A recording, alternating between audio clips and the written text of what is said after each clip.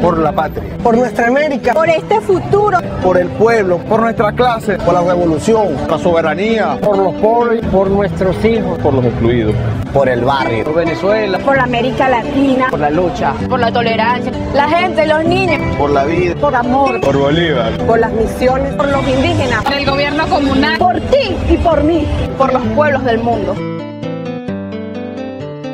Hoy tenemos patria. Lo que pase, en cualquier circunstancia, seguiremos teniendo patria.